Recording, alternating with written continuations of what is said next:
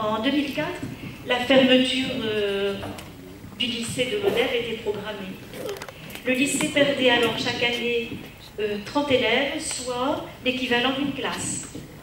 Il faut vous dire que le plan local d'urbanisme de Gignac prévoyait à cette époque un emplacement pour la construction d'un nouveau lycée sur le territoire de Gignac, après la fermeture du lycée de l'Odève, bien entendu. En 2005, Marie-Christine Bousquet, conseillère régionale, a obtenu l'appui de Georges Frêche pour restaurer et étendre l'établissement Lodévois. C'est ainsi que 37 millions d'euros seront investis par la région dans cet ambitieux projet.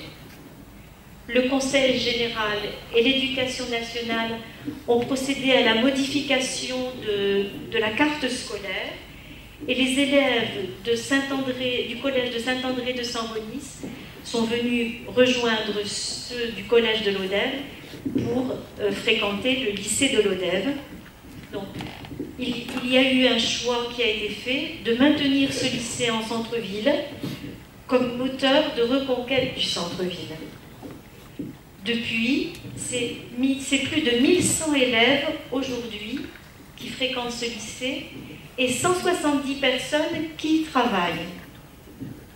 Le lycée offre des filières nouvelles, la section à appliquer, qui, qui draine effectivement au-delà de la région, et des classes de BTS également. La ville a aménagé l'espace entre l'hôpital et le lycée pour sécuriser, euh, gagner en accessibilité et en qualité de vie. Voilà.